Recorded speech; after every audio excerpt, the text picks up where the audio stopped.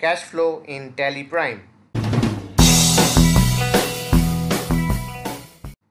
The cash flow statement summarizes the transactions that have a direct impact on cash.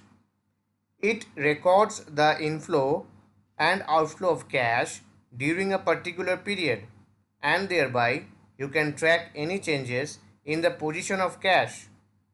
Unlike the cash flow, which records the previous flow of cash, the cash flow projection is used to anticipate the cash to be generated or spent in the future. A cash flow statement can also be used as a receipts and payment statement. This is useful for institutions such as non-profit organizations where a receipts and payment statement needs to be generated. Cash flow is the inflow and outflow of cash during an accounting period.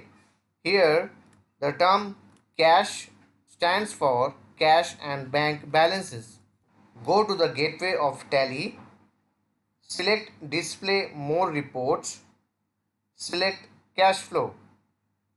Press F2 to set the period. You can select any period like a month, a quarter or a year. The cash flow statement appears as shown in the screen. View cash flow projection report. Press Alt plus G. Type or select cash flow projection. Then press enter. The cash flow projection appears as shown in the screen. Press Alt plus N to change the format of the columns which appear on a monthly basis by default. You can configure the columns to appear quarterly. Current balance. This row displays the projected opening balances of bank or bank OD accounts available for each columnar period. Receivables. This row displays the amounts that are receivable from customers for each columnar period. Drill down to view the party details, due dates and transaction amount in the respective column periods. Payables. This row displays the amounts that are payable to suppliers for each columnar period. Drill down to view the party details, due dates and transaction amount in the respective column periods. Set OD limit. The cash flow projection report in Tally Prime allows you to set the overdraft limit for your bank OD accounts so that you can project the cash flow based on the required limit.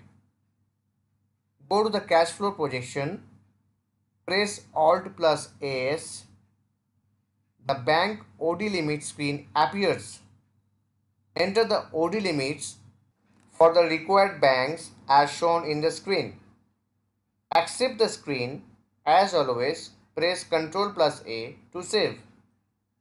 The OD limit specified for a bank account will either exclude or include the opening balance brought forward depending on whether it is a credit balance or a debit balance. Configure cash flow projection.